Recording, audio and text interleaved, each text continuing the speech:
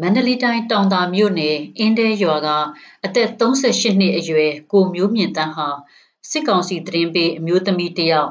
တောင်သာမြို့ပေါ်မှာတနတ်နဲ့ပြစ်တက်ခံရတဲ့ကိစ္စမှာတန်တရားရှိတယ်ဆိုပြီးအဖမ်းခံရပြီးတဲ့နောက်နိုင်ပိုင်းအတွင်းမှာပဲစစ်ကြောရေးမှာတေဆုံးသွားခဲ့တယ်လို့လုံခြုံရေးရအမည်မဖော်လို့တဲ့တောင်သာမြို့ဒေသခံတွေကပြောပါတယ်။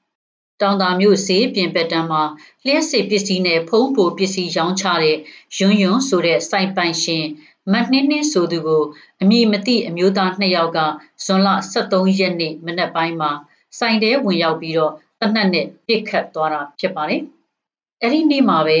CCTV ကိုစစ်ဆေးကြည့်တဲ့အခါဆိုင်ရှိကနေဖြတ်သွားခဲ့တဲ့ကိုမျိုးမြင့်တန်းကိုတန်တရားရှိတယ်ဆိုပြီးအင်းတဲရွာအထိ စစ်သားအင်အား60ခန့်နဲ့လာရောက်ဖမ်းဆီးခဲ့ပြီးတဲ့နောက်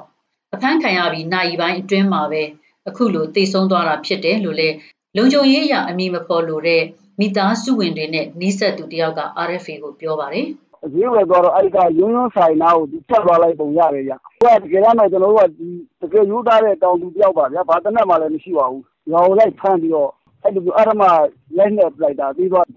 သူ့မိဘတွေက အခုသွားကြည့်တဲ့အချိန်မှာ ပိတ်စနဲ့ အုပ်ထားတယ်တဲ့ မျက်နှာလေးလည်း ဖော်ထားတယ် မျက်နှာလေးကလည်း တော်တော်လေး ဒဏ်ရာလေးတဲ့ထုတ်ပြပြီးပြောတယ် အောက်ပိုင်းကိုလမ်းကြည့်တာတော့ ခြေတော်ကလေးလမ်းကြည့်တာကို လုံးဝလမ်းမခံဘူးတဲ့ ကျန်တာဆို လုံးဝဝေးလို့ ကိုမျိုးမြင့်တန်းရဲ့ ရုပ်လောင်းကို စစ်ကောင်စီအဆောင်အရှောက်တွေနဲ့ ဇွန်လ14ရက် မနေ့ညနေပိုင်းမှာ တောင်တာမြို့တုတ်တံမှာတင်းကြိုခဲ့ရပါတယ်။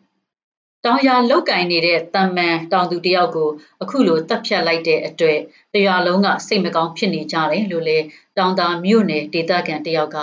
RFA ကိုပြောပြထားပါတယ်။လက်ရှိကဒေါ်လာကြီးလုတ်တဲ့ကလေးဟိုရှိရရှိနေနိုင်ငံရေးလုတ်တဲ့လူတွေဆိုရင်လုတ်ချင်လို့ပြည့်နေပေါ့ဒီလိုတောင်သူရိုး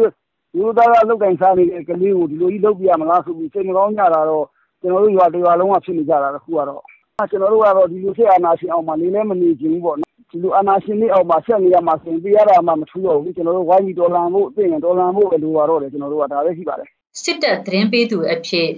ဒေသခံတွေကဆွဆွဲထားတဲ့မနှင်းနှင်းတနက်နဲ့ပြစ်တက်ခံရပြီးတဲ့နောက်စစ်ကောင်စီတပ်သားတွေဟာအင်းတဲရွာအနီးဝန်းကျင်ကရွာတွေကိုပါတနက်တွေနဲ့ဝင်ရောက်ပစ်ခတ်ရှာဖွေတာတွေလုပ်ခဲ့ပါတယ်။တောင်တာမြို့နယ်နတ်ဆောင်ရွာကကိုချက်ဖောင်းခေါ်ကိုကျော်နိုင်ဦးဆိုသူကိုလည်းဖမ်းဆီးသွားခဲ့ပါတယ်။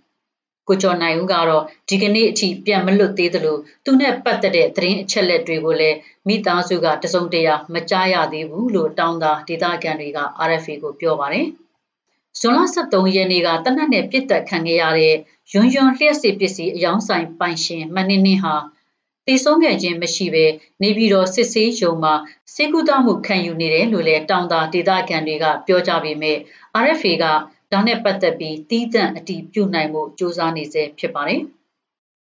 ဆီယနာရှင်တွေကိုဆန္ဒပြနေကြတဲ့ကာလတွေမှာမနှင်းနှင်းကသူ့ရဲ့ဆိုင်ရှိမှာပြည်ထောင်စုကြံ့ခိုင်ရေးနဲ့ဖွံ့ဖြိုးရေးပါတီအလံကိုလွှင့်ထူထားသလိုတက်မတော်ထောက်ခံပွဲတွေမှာရှေ့ဆုံးကနေပါဝင်ဆောင်ရွက်ခဲ့သူတယောက်ဖြစ်တယ်လို့လည်းလုံခြုံရေးအရာအမည်မဖော်လို့တဲ့တောင်တာမြို့ဒေသခံတယောက်က RFA ကိုပြောပါတယ်ဒီကလူပါတီကိုစွဲရည်တက်တယ်တက်ပြီးတော့ ဒီ NLD ပါတီဝင်ဗတ်ယောက်လိုချင်တယ်လေစစ်ကောင်စီကိုအပ်မယ်ဆိုပြီးတော့ပြောတယ်တခါစစ်သားတွေကိုဟာပိုဒီလုပ်တဲ့အပိုင်းမှာလည်းသူဆောင်ပြီးတော့လုပ်တာမျိုးတွေရှိခဲ့တယ်တောင်တာမြို့နယ်မှာဆီယနာရှင်စန့်ကျင်ရေးလုပ်လို့ဒေသခံအယောက်80လောက်ဟာတပ်မတော်ကိုအကြည်ညိုပြက်အောင်လှုံ့ဆော်မှု ပုံမှန်905ကကြီးနဲ့ဖမ်းဆီးခံထားရပြီးထောင်တွင်းတရားရုံးတွေကနေအမှုရင်ဆိုင်နေကြရတယ်လို့လည်းဒေသခံတွေကပြောပါတယ်။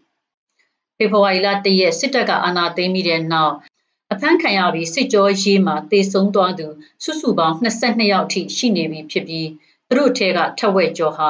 24နာရီအတွင်းစစ်ကြောရေးကြောင့်တေဆုံးကြရသူတွေဖြစ်ပါတယ်။အဲ့ဒီအထဲမှာမှ၃ယောက်ကတော့အလောင်းတောင်ပြန်မရခဲ့ဘူးလို့နိုင်ငံရေးကျင်းသားများကုညီစောင့်ရှောက်ရေးအသင်း AAPP ကဇွန်လ17ရက်နေ့ကသတင်းထုတ်ပြန်ထားပါတယ်။ကျမအေးအေးမော်မှာ နော်ဝေးနိုင်ငံအော်စလိုမြို့ကနေသတင်းပေးပို့ခဲ့တာဖြစ်ပါတယ်ရှင်။